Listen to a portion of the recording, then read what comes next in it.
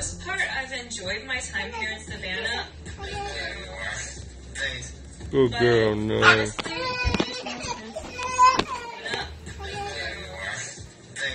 oh, Good girl, no. honestly,